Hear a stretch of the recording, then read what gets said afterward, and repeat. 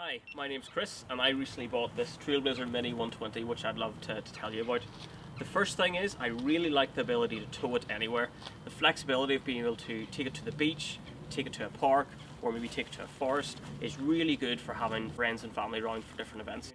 I have had the pleasure of using some really good expensive barbecues, um, some Weber's, uh, Broil Kings, you know, really top end stuff, you know, four to five grand sort of money, but they are not, they're okay, but this just oozes quality like a Swiss Army knife.